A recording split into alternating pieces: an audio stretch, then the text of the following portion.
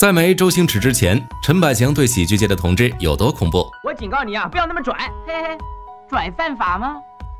哎，你告诉我，有哪条法律规定人不能够拽的？这位身穿黑色背心、朝气蓬勃的帅哥，背地里居然是个神偷。此人名为戴查理，以前的他曾被人称为神偷大钢牙。后来听说，为了不让警察们太尴尬，转行做了模特。已经做了模特的他，本来不想再做这些偷盗的事。直到这天，从外国读书回来的侄子找到他，告诉他自己的理想是要和他成为一样的神偷。查理却他资质太差，拒绝了。随后对着自己大哥的遗照说，希望能原谅自己。侄子见他这么固执，只能先行离开。为了对哥哥有所交代，查理送他时，本想给侄子拿一些生活费，谁知一摸口袋，钱包没了。紧接着，钱包就出现在侄子的手里。看来神偷家族的基因还是很强大的。随后，侄子又倒打一耙，把查理赶出了家门。为了能回自己家，查理只能答应教他怎样当好一个贼。这天，警局里，老胡找到了人称神探的超人，拿出一副假牙，告诉他神偷大钢牙又重出江湖了。超人瞬间变得异常激动，因为他曾有好几次差点抓到他，但都被他逃脱了。当得知他再次出现，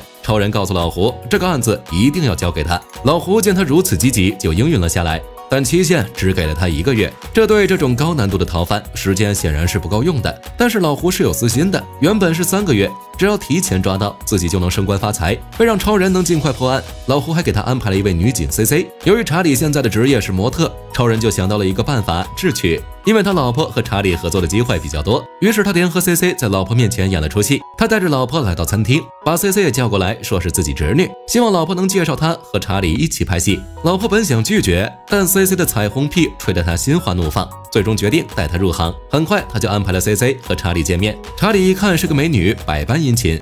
C C 骗自己是新加坡华侨，最近几天才回来，回来的目的主要是想和查理还有阿蕊合作拍一次广告。在聊完合作后，西西也没有忘记自己的任务，没事就找机会靠近他。这天，C C 为了感谢查理救了他，特地买了花来到他家里。坐在一旁的志伟看到后，却开始为自己打抱不平。他在帮叔叔通厕所，叔叔却在泡妞。他特意来到 C C 面前，讲起叔叔的各种丑事。C C 听得直反胃，但为了工作，他还是忍了下来。为了缓解不适，C C 提出自己先回房间插花。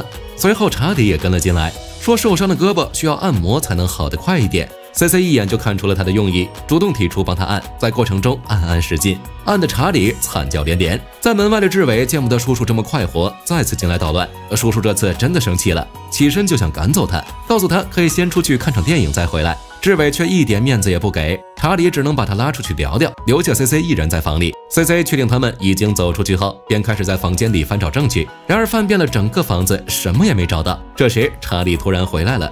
他问 C C 在找什么，C C 吓了一跳，赶紧撕下自己的纽扣，骗他说自己扣子掉了，在找针线。查理就这样傻傻的相信了，还主动帮 C C 缝起扣子，眼看气氛要暧昧起来。志伟再次进来捣乱，C C 连忙起身就要走。临走前，他邀请了查理后天去家里参加派对。这俩叔侄也都答应了会去参加。派对当天，老胡特地借了他们一个几百万的宝石，目的就是想用宝石骗查理出手。在他们聊天的时候，查理叔侄也已经到来。进门后的查理就告诉志伟别乱来。不然以后休想跟着他。C C 看见后走了过去，邀请查理一起去喝一杯。志伟本想来一旁泡妞，却没想到遇上了心理学家。他只是打了个招呼，美女却大声喊说她要带自己去宾馆。一时间，所有的目光都看向了他。但志伟也不是好欺负的，随即就回击了回去。刚刚不过是做个试验一千块，太贵了吧？对不起。我是研究妓女价钱，什么价钱我都知道。而超人这边本想让理查喝多，谁知几杯下去，对方一点事没有，而他已经憋不住，需要上厕所了。同样不靠谱的还有他的队友，假扮服务员给人倒酒，自己却先喝多了。而 C C 这边已经开始了任务。把宝石拿出来展示，大家都在欣赏这颗闪闪发亮的宝石。志伟却突然离开了座位。查理告诉了旁边的阿蕊，说志伟可能有想法，自己得去看看。当查理也离开座位时，C C 却把宝石收起来了，而超人却还在厕所门口排队。这时，C C 带人来到了楼上，把超人也喊了过来，开始自己的重头大戏。只见他打开盒子，喊了一句“定”，超人就被定在了原地。如此神奇的演示，叔侄俩都看在了眼里。随后，C C 小心地把宝石收了起来。配合表演完，超人终于有时间解决自己的私事，躲在窗帘后上厕所。当他拿着自己的成品出现，老婆还以为他又喝酒，让他把酒杯放下。超人随手就放在了吧台。这时，那个不靠谱的服务员又再次出现，看都没看，拿起来一饮而尽，直到喝完后才发现不是酒，全部喷了出来。这边叔侄俩为了留下来，查理一把把侄子从楼梯上推了下去，称回不了家了。C C 见状就邀请两人住下，超人和老婆也选择留下来。晚上外面一点动静都没有，超人心不在焉的在房间里跑来跑去。可就在他上厕所的间隙，查理却悄悄跑了过来，告诉女人那个宝石真的很值钱。一看他这个样子，女人就知道他又手痒了。原来很早之前两人就认识，为了防止被超人看到，女人让他赶紧回去。超人上完厕所后，突然接到了电话，让他回去开会。接完后，他穿上衣服就准备回警局。查理听到关门声，再次过来找阿蕊，而他过来只想告诉阿蕊，自己留下来是有原因的，就是想查出到底谁在冒充自己。只是话没说完，门口又响起了敲门声。查理想跑回去，谁知道门被反锁了，他只能先躲到床底下。阿蕊开门后，却发现来的是志伟。原来刚刚的电话是他打来的。他带着美酒，正准备和阿蕊一起品尝，门口再次响起了敲门声。原来是超人回来了。他赶紧把志伟塞进了衣柜。原来超人察觉不对，给局里打电话确认，才知道根本没这回事。为了让两人跑出去，阿蕊故意开始和老公亲热，谁知门把手坏了，查理只好再找个地方躲起来。而志伟这边也差点被发现。最后在阿蕊的掩护下，志伟跑了出去。查理想跑出去，却来不及，只能再回到床底下。阿蕊以为都出去了，终于松了一口气。当坐下后，才知道还没走。查理突然伸出手，挠向了阿蕊的脚跟。吓得他赶紧让超人关灯睡觉，查理也趁这个机会从窗口跑了出来。而正在房间里坐着的 C C 看见有个黑影，便起身过去查看。当他开窗的那一刻，查理就这样掉了下去。但由于光线太暗，他看不清是谁，只能下去楼下看了。可下去后，人已经跑了。当 C C 再次返回房间，发现宝石也不见了。C C 本想立刻去联系超人，但还是决定先来查理这边查看，说自己做了一个梦，梦里的人和查理很像，问他是不是爬过自己的窗户。查理自然不愿承认，于是用唱歌的方式告诉 C C 自己是来帮助他的。随后两人又回到 C C 房间，看到了一个黑影。查理拿起吉他就打，没想到是吴警官。C C 向他坦白，宝石真的丢了。回到警局，两人被上司大骂一通。珠宝店的老板还等着拿宝石去拍卖，老胡求着他们赶快找回来，因为自己快要升副处长了。为了尽快找到宝石，C C 再次把查理约到草地上野餐，超人则是在远处盯着。可随着志伟的到来，麻烦再次跟着来了。正在拍照的他们看见远方有婴儿车掉下来，情急之下，查理选择先过去救人。当他想把车子还回去的时候，推车的阿姨却跑了。查理上去追他，志伟却被婴儿车里的大叔抓到了。大叔成功把志伟拖住了。其他几人也趁机带走了 C C。大叔告诉他们，想救 C C 的话，就把宝石带过来换。说完，让他们趴在地上，自己就撤了。等到查理和志伟想去追他们时，却发现车子轮胎都没了。无奈的他只好打电话给超人，但是接电话的却是阿蕊。两人在电话里约好见面再商量。随后门铃响起，查理以为是阿蕊，打开门却发现是受了伤的 C C。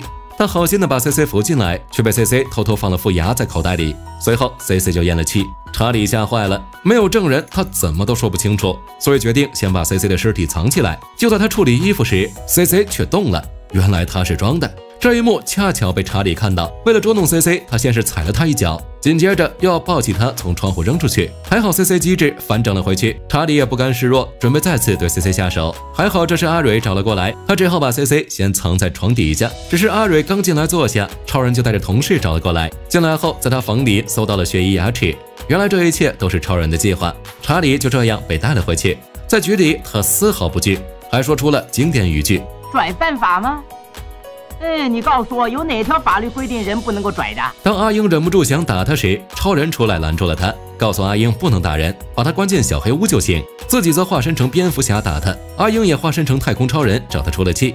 直到志伟过来保他，才被放了出来。两人上车后，查理问志伟是不是他偷的，志伟也知道瞒不过叔叔，把宝石拿了出来。可他们却不知道阿英正跟在后面看着。阿英看见后，立刻超车来到了前面，拦住他们。在叫他们下车时，查理却发起了抵抗。志伟则是拿出了宝石，想把阿英定住，而阿英却也刚好被查理拿住枪抵住，不敢动。两人就这样以为宝石真的有效果，他们把阿英锁在了路边，决定回去警局坑一下超人。对话全被阿英听到了。阿英就这样拖着垃圾桶来到旁边的电话亭，打给超人。超人听完后，决定做一场戏来抓他们。甚至还在办公室里想到了自己的美好未来，还把 C C 叫了进来，一起想办法。他们也很快通知了其他同事一起配合。查理来到了超人的办公室，准备把宝石放进保险箱。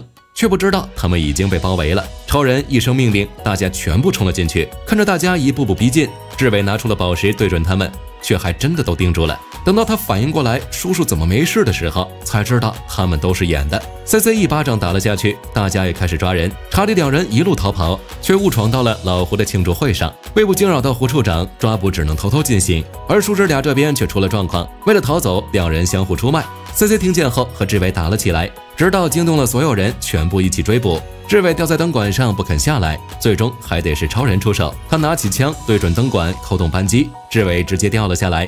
神偷大钢牙终于被成功抓住了。